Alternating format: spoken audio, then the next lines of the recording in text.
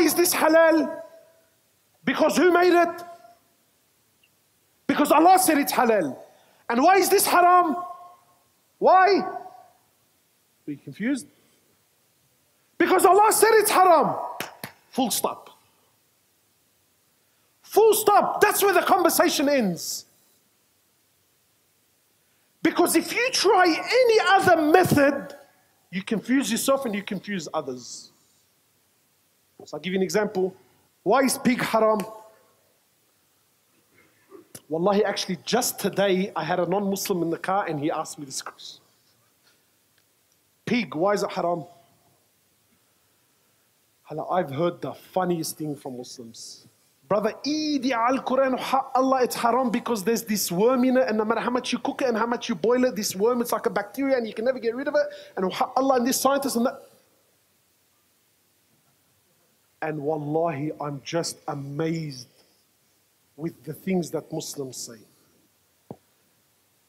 My brothers and sisters, why is pig haram? Really, if you understood the very beginning of my talk, it's haram because who said so? Do I need to know why? You know what the problem is with these arguments? You know what the problem with these arguments is? Because unfortunately, now science, this fitna that we call science, wallahi, it's a big fitna, man. Big fitna. Science and scientists are slowly replacing Allah and His Prophet. They're slowly replacing Allah and His Prophet in the eyes of many Muslims. You know what I find amazing? Is sometimes when you say this to people, nah, brother, not me. I have to know. Again, this is a door of shaitan. That look, brother, and I have to know. Habibi, anta, wallah, please, Allah dalak, anta ya muhandis, sit down before you hurt yourself. When you accepted Allah in the beginning, you accepted Him to be the all knowing, true or not? The all seeing, the all wise, the all powerful. So when this Allah sends me something, He says to me, don't do it. I don't need to investigate after. এই যুক্তিটা এই ধরনের যুক্তি তো অসংখ্যবার শুনি শুনে আসছি এটা আসলে it doesn't compliment the picture বা it doesn't answer the question actually এটা this is not the answer তো এই যিনি এই এই ভাই, উনি যেটা বলছেন ঠিক আছে, ভালো রাইট সঠিক কথাই বলছেন, কিন্তু সেখানে আমি মনে করি যে যেটা বললাম, এটা আসলে কনভিনসিং অ্যান্সার হয় নাই বা হয় না এই কথাটা যেটা শুনি বা যেটা বলা হয়। যে হ্যাঁ যেমন উনি শুকরের উদাহরণ দিয়েছে, শুকর, ওটা ওটা দিয়ে বলি আপনি যে কোনো ক্ষেত্রে অ্যাপ্লাই করতে পারেন। যে শুকর আমরা কেন খাব না, তো মানুষজন বিভিন্নভাবে ব্যাখ্যা করার চেষ্টা করে মুসলমানরা যে ও শুকরের মধ্যে বিভিন্ন জারাম আছে, জীবাণু আছে এটা শুকর কথা কথা ময়লাতে থাকে, এই সেই হাবিজাবির জন্য খাওয়া যাবে না। তো কিন্তু, এই ভাই যে কথাটা বললেন এটু পর্যন্ত আমি একমত, এটা সত্য। কিন্তু এমন যদি হয় যে এখন কিন্তু সব আমেরিকাতে যেসব জায়গাতে শুকুর কিন্তু এখন অনেকটা পেট অ্যানিমেল হিসেবে বাসাতেও রাখা হয়। একদম গোসল করানো হয়, শ্যাম্পু ট্যাম্পু দিয়ে এরকম। তাহলে তো এই শুকুর তার মলাতে থাকতেছে না, সে ক্লিন তাইলে কি এখন খাওয়া যাবে এটা? মানে আমরা এই যারা, ধরেন মুসলমান যারা, আমরা এটা জাস্টিফাই করার চেষ্টা করি, এই, এইভাবে করে চিন্তা করে যে আচ্ছা শুকর হারাম কেন হারাম? ও সেটা ময়লা থাকে। না, এই শুকরটা তো এখন ময়লা থাকছে। তাহলে কি এটা খাওয়া হালাল? তা তো না। তার মানে এইভাবে চিন্তা করা যাবে না। ফাইন নাইস ঠিক আছে। অথবা যে শুকরের জীবাণু থাকে, শুকরের ভেতরে খাওয়া যাবে না। কিন্তু যদি ল্যাবের মধ্যে একটা শুকর এরকম প্রসেস ইয়ে করা হয় তৈরি করা হয়, একটা প্রসেস ভাবে একটা শুকর বানানো হয়, যেটার মধ্যে কোনো জীবাণু নাই, তখন কি সেটা খাওয়া যাবে? তখনও তো খাওয়া যাবে না। সো তার মানে এইভাবে করে চিন্তা করলে অ্যান্সার পাওয়া যাচ্ছে না। সুতরাং কোনো অ্যান্সার খোঁজা যাবে না, কোনো ব্যাখ্যা খুঁজতে যাওয়া যাবে না। বেসিক্যালি উনি কিন্তু যেটা বলছে এটা ওনার এন্ড আর্গুমেন্ট এটাই যে ব্যাখ্যা খোঁজার কিছু নাই, ব্যাখ্যা খুঁজতে জানতে চাওয়ার কিছু নাই। সায়েন্স বরং ফিতনা তৈরি করতেছে। সায়েন্স মানে তো ব্যাখ্যা। সায়েন্সের কাজ কি? সায়েন্সের কাজ হইতেছে কোনো একটা ফেনোমেননকে ব্যাখ্যা করা basically that's all science is তুমি বলছো সায়েন্স হচ্ছে ফিতনা তৈরি করে, ব্যাখ্যা হইতেছে ফিতনা তৈরি করে, ব্যাখ্যা খুঁজতে গেলে ফিতনা তৈরি হয়, ব্যাখ্যা খোঁজা যাবে না সায়েন্সের কাছে যাওয়া যাবে না। আল্লাহ বলছেন, আল্লাহর আল্লাহর আদেশ, সুতরাং এটা পালন করতে হবে, মুখস্থ মুখস্থ পালন করতে হবে, বুঝে না কুলাইলেও পালন করতে হবে এবং অন্ধভাবে এটা বিশ্বাস করতে হবে, এটার ব্যাখ্যা খুঁজতে যাওয়া সায়েন্স জানতে যাওয়া, এগুলো ফিতনা তৈরি করে। উনি এই এই এই পার্টটার আগের পার্টটা পর্যন্ত আমি কিন্তু একমত ছিলাম। এখানে এসে সমস্যাটা যেই জায়গাতে, যেমন যেটা বললাম, এইরকম ভাবনা একসময় আমিও ধারণ করতাম, পরে দেখছি যে না it's not the right answer বা রাইট অ্যাপ্রোচ বা রাইট পার্সপেক্টিভ কারণ হচ্ছে যে আপনি এইটা দিয়ে কিন্তু আপনি একটা থটফুল মানুষকে জীবনে কনভিন্স করতে পারবেন না। কারণ আমরা কিন্তু সব কিছুর ব্যাখ্যা খুঁজি। যেমন এই এই একটা কথা প্রসঙ্গে মনে আসলো যে, এরকম উদাহরণ দেখছি। সম্ভবত নোমান আলী খানের আলোচনাতে শুনছিলাম, আমার কথা মনে আসতেছে না, ঠিক? হ্যাঁ নোমান আলী খান আলোচনায় বোধ হয় বা হোয়াট এটা আমি বেশ অনেকবার সামনে আসছে, কারণ এই কিছু জিনিস জনপ্রিয় হয় যেগুলো বারবার করে মানুষ বলে এবং সামনে আসে। সেখানে একটা এরকম আলোচনা শুনছি যে আল্লাহ পাক যখন আদম আল্লাহ সাল্লামকে গিয়ে খাইতে না করছেন গন্ধম ফল খাইতে না করছেন, সেখানে গন্ধম ফল খাইলে তো কোনো ক্ষতি ছিল না, সেটার মধ্যে তো কোনো নেতিবাচক, খারাপ কোনো কিছু নিহিত নাই। তাইলে আল্লাহ কেন খাইতে নিষেধ করছেন? এটা তো কোনো ব্যাখ্যা আছে? কোনো ব্যাখ্যা নাই। কিন্তু আল্লাহ যেহেতু নিষেধ করছেন, সেহেতু এটা খাওয়া যাবে না। এরকম আর কি। সব হারামের ব্যাখ্যা থাকবে না। আল্লাহ সব আদেশের কোনো ব্যাখ্যা খুঁজে পাওয়া যাবে না। সুতরাং ব্যাখ্যা খুঁজতে যাওয়ার কোনো দরকার নেই এরকম।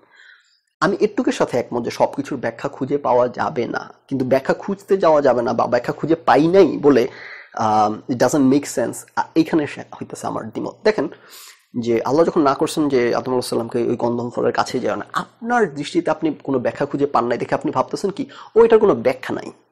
এটার কোনো ব্যাখ্যা নাই জাস্ট আল্লাহ না করছেন জাস্ট এই কারণ, এটাই ব্যাখ্যা যে আল্লাহ না করছেন। কিন্তু পৃথিবীতে এমন পৃথিবী না, এটা খুব একটা বেসিক কমন সেন্স আন্ডারস্ট্যান্ডিং এর বিষয়। এগুলো এই এত বেসিক জিনিস ব্যাখ্যা করতে হয়, এটা একটা, একটু দুঃখজনক ব্যাপার। যখনই কেউ বলবে যে কোনো একটা জিনিসের কোনো ব্যাখ্যা নাই, ব্যাখ্যাতীত ইটস নট পসিবল প্রত্যেকটা জিনিসের পেছনে একটা কারণ আছে, একটা কজ আছে। আমি সেই কজ হয়তো খুব ফাইন্ড আউট করতে পারি নাই। তার মানে আমি এটা বলব না যে এটার পেছনে কোনো কারণই নাই। অবশ্যই কারণ আছে। আমি হাইস্ট বলব যে কারণটা কি আমি জানি না, অথবা কারণটাকে আমি ব্যাখ্যা করতে পারি নাই। আল্লাহ যখন নিষেধ করছেন আদম আল্লাহ সাল্লামকে সেটার পেছনে কারণ কি ছিল? এটা যেটা বললাম, যেটা শুনি, যেটার পেছনে তো কোনো কারণ নাই। আল্লাহ নিষেধ করছে তাই বলে। কন্দম ফল খাওয়ার নিষেধ করার কোনো ব্যাখ্যা নাই। না, ব্যাখ্যা আছে। ব্যাখ্যাটা হচ্ছে এখানে আল্লাহ লয়ালিটি টেস্ট করছেন। আমি জানি না, হয়তো এটা রাইট ব্যাখ্যা, আমি এখন যে ব্যাখ্যা দেবো, হয়তো এটা রাইট ব্যাখ্যা, অন্য কোনো ব্যাখ্যা আছে। সো এত রিজিড হয়ে যাওয়ার কিছু নাই। অ্যাপারেন্টলি এটার পেছনে ব্যাখ্যা হইতেছে, আল্লাহ হইতেছে লয়ালটি টেস্ট করার জন্য বলছেন এখানে। যে এইটা খায়ো না আমি তোমাকে নিষেধ করলাম, দেখি তুমি আমার কথাটা শোনো কিনা। এটা তো একটা ব্যাখ্যা। এটা তো একটা ব্যাখ্যা। নাও এখন আপনি এটাকে এক্সট্রাপোর্ট করে বলতে পারেন যে হ্যাঁ আল্লাহ আমাদেরকে শুকর খাইতে না করছে লয়ালটি টেস্ট করার জন্য। আল্লাহ আমাদেরকে মদ খাইতে না করছে লয়ালটি টেস্ট করার জন্য। না না, এই ব্যাখ্যা আবার সবখানে যে কোনো থটফুল মানুষ পেছনের কারণ খুঁজবে। আপনাকে যদি আমি একটা কাজ করতে বলি, আপনি যদি, আপনাকে ধরেন আপনার বস আপনাকে বলল যে এই একটা রিপোর্ট লাল কালি দিয়ে লিখে নিয়ে আসেন। আপনার মাথায় ইমিডিয়েটলি প্রশ্ন আসবে যে লাল কালি দিয়ে রিপোর্ট করে অফিসিয়াল কোনো কাজে তো কখনো লাল কালি দিয়ে রিপোর্ট লিখতে দেখি না, কালো কালি দিয়ে, লাল কালি দিয়ে কেন রিপোর্ট লিখতে বলল? মানে ইমিডিয়েটলি আপনার মাথায় একটা চিন্তা করবে যেটার পিছনে ব্যাখ্যা কি হইতে পারে? তারপর আপনি একটা ব্যাখ্যা দাঁড় করানোর চেষ্টা করবেন যে, ও আচ্ছা হয়তো বা যেই রুমের মধ্যে রিপোর্টটা একটা কথা কথা বলতেছি যে, পড়া হবে সেই রুমের যে লাইট সেই লাইটের মধ্যে লাল কালি ছাড়া অন্য কালি হয়তো ভালো করে দেখা যায় না। বা একটা কথা কথা বলতেছি এরকম। যে মানে এই চিন্তাটা যে কোনো মানুষের মাথায় আসবে এবং আপনাকে যে বলছে, উনিও কোনো একটা কারণে বলছে। এখন উনি কি কারণে বলছে, সেটা ফাইন্ড আউট করার আপনি চেষ্টা করতেছেন, একটা ব্যাখ্যা দাঁড় করানোর চেষ্টা করতেছেন। নেসেসারিলি আপনি তো রাইট ব্যাখ্যাটা আপনি you may not be able to come up with the right explanation কিন্তু তার মানে ব্যাখ্যা খোঁজা যাবে না, কোনো ব্যাখ্যা নাই, কারণ ছাড়া বলছে, অকারণে বলছে। এই ধরনের এগুলো কনভিন্সিং কথা না, এগুলো কেউ কনভিন্স হবে না। সুতরাং, যেমন সুগারের কথা যদি বলি, যে একটা সময় যারা হইতেছে এটা তো শুরুতে তো এটা আমাদের বেস লাইন যে আল্লাহ একটা জিনিস না করছেন, সেটা করা যাবে না। এটার ব্যাপারে কোনো দ্বিমত নাই, কিন্তু কেন না করছেন, সেটার ব্যাখ্যা খুঁজতে যাওয়া সায়েন্স বোঝা, এটার যে ভাষাভাবে উপস্থাপন করা হয়, বা এখানে করা হয়েছে বা করা হয় এইখানে কি হইতেছে আমার দ্বিমতের জায়গাটা, যে হ্যাঁ আল্লাহ শুকুর খাইতে না করছেন, কেন করছেন? আমি, সবাই কিন্তু মনে মনে আমরা ভাবি, হয়তো যে আমাদের ধর্মে যেভাবে করে, ধর্মে না, আমাদের হুজুররা, আমাদের ইসলাম ধর্ম যারা পরিবেশন করেন, যারা যারা নেগেটিভ দাঁড় করেন ওনারা এমন একটা পরিবেশ তৈরি করে রাখেন যে কথা বলা যাবে না, প্রশ্ন করা যাবে না, ব্যাখ্যা খোঁজা যাবে না। এটা খুবই একটা খারাপ কাজ, গর্হিত কাজ। এই কারণে আমাদের সবার মনে কিন্তু প্রশ্নগুলো আসে, কিন্তু আমরা মুখে উচ্চারণ করার সাহস পাই না। মুখে উচ্চারণ করার সাহস পাই না মানে এই না যে যারা মিনিমাম থটফুল মানুষ ধর্ম পালন করতেছে, তাদের মাথায় কোনো প্রশ্ন নেই। সবাই মাথায় বিভিন্ন প্রশ্ন নিয়ে ঘুরে। কিন্তু আমরা এমন একটা কালচার তৈরি করে রাখছে যে কালচারের প্রশ্নগুলো করার কেউ সাহস পায় না এবং এগুলো মানুষকে আর বেশি বদার করতে থাকে, বাক করতে থাকে। সো যে কোনো একটা বিষয়ে আমরা যারা থটফুল মানুষ, তারা কিন্তু উত্তর খোঁজার চেষ্টা করে যে শুকর খাইতে না করছেন আল্লাহ কেন? এটার পিছনে কি যুক্তি থাকতে পারে? যারা থটফুল মানুষ, তারা আল্লাহর আদেশটা মানতে চান বলেই কিন্তু একটা ব্যাখ্যা দাঁড় করেছেন সেটা সপক্ষে, যে, ও আচ্ছা হয়তো বা শুকরের মধ্যে তো বিভিন্ন জীবাণু থাকে, এই কারণে হয়তো। এখন যদি আপনি দেখেন যে, না, জীবাণু ছাড়া শুকর বের হয়েছে, তখন সেই থটফুল মানুষটা চিন্তা করবে আচ্ছা তাহলে আমার আমি সঠিক ব্যাখ্যাটা দাঁড় করাইতে পারিনি তার মানে এই এই না যেটা কোনো ব্যাখ্যা নাই, যেটা উনি বললেন যে ব্যাখ্যা খোঁজা যাবে না সায়েন্স এগুলো ফিতনা তৈরি করে। না না, সে, এটা কিন্তু রাইট অ্যাপ্রোচ আমি যেটা বললাম এখানে ওনার সাথে আমার দ্বিমত, যে তার মানে এনে যেটার ব্যাখ্যা নাই। তার মানে আমি, ও আচ্ছা আমি যে ব্যাখ্যাটা দাঁড় করাইছি, তার মানে দেখা যাচ্ছে এটা রাইট ব্যাখ্যা না। আচ্ছা আচ্ছা তাহলে আমি সেকেন্ড একটা ব্যাখ্যা দাঁড় করাইছিলাম যে শুকুর ময়লার মধ্যে থাকে এই কারণে হয়তো। যদি দেখা যায় যে একটা শুকর ময়লাতে থাকে না এরকম শুকর, তখন আমি চিন্তা করব আচ্ছা আমি দুইটা ব্যাখ্যা দাঁড় করেছি দুইটা ব্যাখ্যাই আসলে অ্যাপ্রোপ্রিয়েট এটা থার্ড কোনো ব্যাখ্যা আছে। এটা হওয়া উচিত আমাদের অ্যাপ্রোচ আমরা সব প্রশ্নের উত্তর জানি না, শুধু মানুষ বলে না, শুধু ধর্মের বিষয় বলে না সায়েন্সের বিষয় যখন নিউটন যখন গ্র্যাভিটির সূত্র টুত্র দিছিলেন, গ্র্যাভিটিকে ব্যাখ্যা করছেন, তখন কিন্তু নিউটন বলছিলেন যে গ্র্যাভিটি হইতেছে একটা মিস্টেরিয়াস ফোর্স এটার কি জানি না, একটা মিস্টেরিয়াস ফোর্স হাবি যাবি। তারপর কিন্তু আইনস্টাইন এসে সেটা বলছেন যে এটা কোনো মিস্টেরিয়াস ফোর্স না গ্র্যাভিটি এভাবে কাজ করে স্পেস টাইম ফেব্রিকের মধ্যে এভাবে ব্যাখ্যা করছে। তো তো তার মানে হচ্ছে যে আমাদের আন্ডারস্ট্যান্ডিং আমাদের ব্যাখ্যা চেঞ্জ হয়। প্রত্যেকটা জিনিসের পেছনে একটা ব্যাখ্যা আছে। সেই ব্যাখ্যাটা আমরা খোঁজার চেষ্টা করি, বের করার চেষ্টা করি, হয়তো সবসময় সাকসেসফুল হই না। সাকসেসফুল হই না মানে এই কথা বলে থামাইয়া দেয়া যে এটার পেছনে ব্যাখ্যা নাই, এটার পেছনে ব্যাখ্যা থাকতে পারে না। ও এটা জাস্ট আল্লাহ আদেশ করছেন, মুখস্থ বান্ধা। কেন আদেশ করছেন? কেন নিষেধ করছেন? কোনো ব্যাখ্যা নাই পেছনে? অবশ্যই আছে। আল্লাহ কোনো একটা কারণেই করছেন সেটা। সেই কারণটা কি? সেই কারণটা আমি জানি না।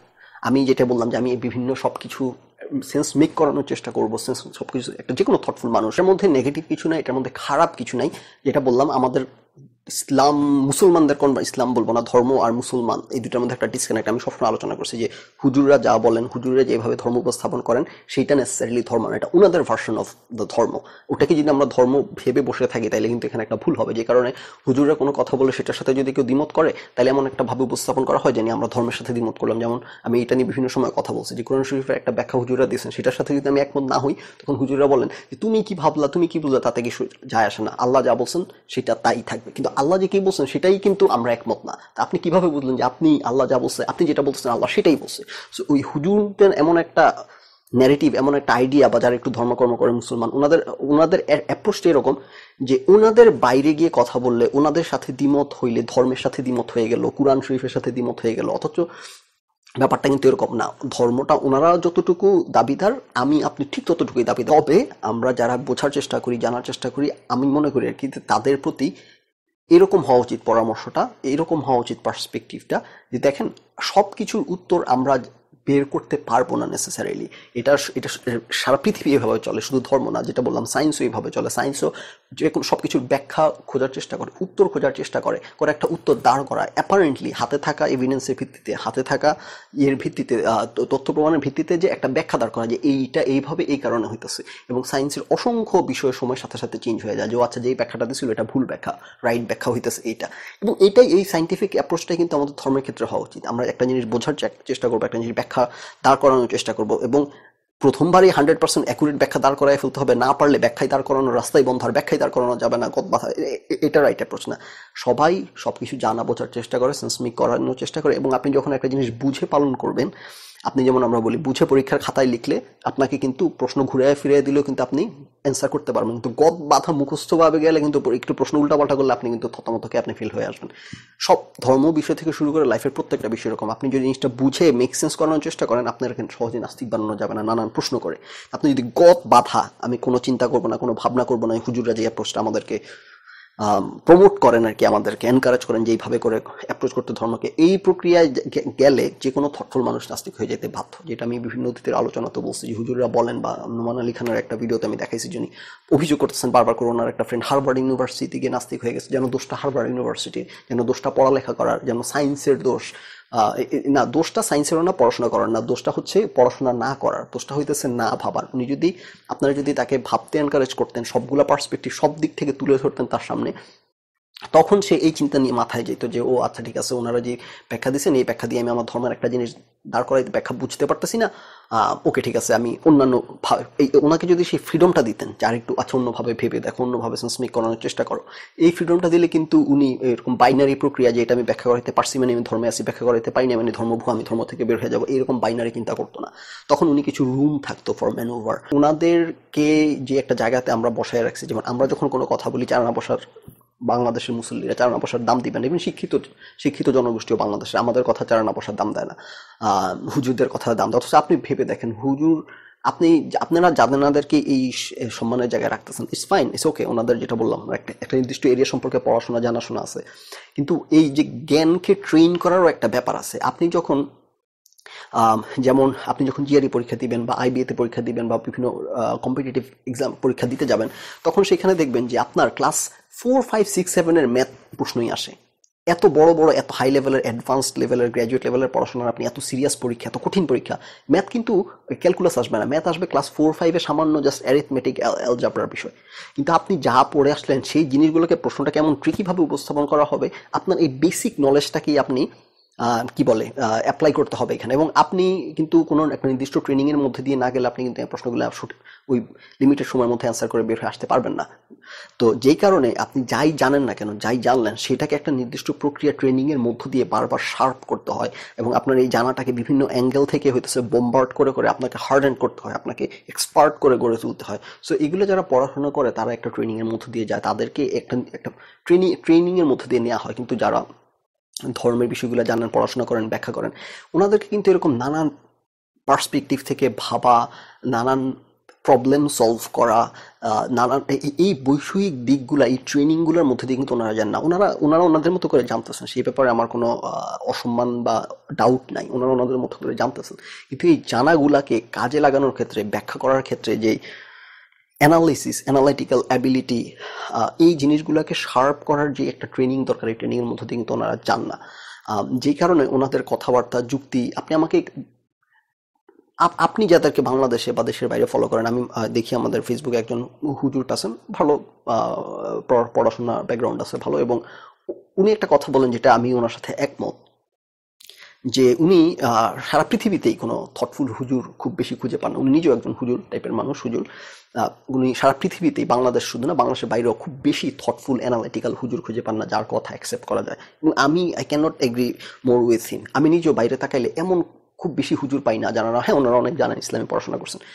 অ্যানালাইজ করতে গেলে, ওনাদের মেধা ব্যবহার করতে গেলে, একটা জিনিস ব্রেকডাউন করতে গেলে, এক মানে চারটা, পাঁচটা জিনিস একসাথে কম্বাইন করতে গেলে, যে এরকম অ্যানালাইসিস অ্যানালিটিক্যাল অ্যাবিলিটি ওই জিনিসটা, ওই এরিয়াটাতে গেলে ওইরকম কোনো ছাপ কিন্তু খুব বেশি, খুব রেয়ার কারোর মধ্যে পাওয়াই যায় না যারা ইসলামিস্ট সো যে কারণে বললাম যে নলেজ এবং উইজডম আপনি নলেজটাকে আপনার কাজে লাগাইতে হলে আপনার উইজডম থাকা লাগবে। আপনার যদি উইজডম না থাকে, এই নলেজটার ভুল ব্যাখ্যা, ভুল ব্যবহার হওয়ার সম্ভাবনা আছে। সো লং স্টোরি শর্ট যেটা হচ্ছে যে মানে আলোচনাতে যেটা দেখাইলাম যে, উনি যতটুকু বলছেন আমি ওনার সাথে একমত। আমার দৃষ্টিতে কমপ্লিট অ্যাপ্রোচ হচ্ছে যে, এটা সত্যি আমাদেরকে এই পর্যন্ত বুঝতে হবে যে, আমরা সব কিছু ব্যাখ্যা করতে পারব না ধর্মের এবং ধর্মের না, পৃথিবীর যে কোনো বিষয়। আমরা যে কোনো একটা কোনো কিছু বোঝার চেষ্টা করতেছি ধর্মের একটা বিষয় হোক বা পার্থিব একটা বিষয় হোক বা সায়েন্সের একটা বিষয় হোক।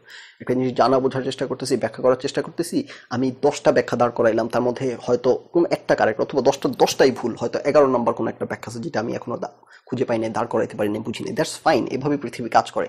যে একটা জিনিস ব্যাখ্যা দাঁড় করাইতে পারি না মানেই হইতেছে এই জিনিসটা ভুল, অথবা দাঁড় করাইতে পারি নাই মানে হইতেছে আমাকে ব্যাখ্যা খোঁজাই যাবে না, ভাবাই যাবে না। এগুলো কোনো রাইট অ্যাপ্রোচ না। মানুষ বিভিন্ন প্রশ্ন আসবে, বিভিন্ন প্রশ্নের উত্তর খুঁজবে, সেটার মধ্যে কোনো ইস্যুস নাই।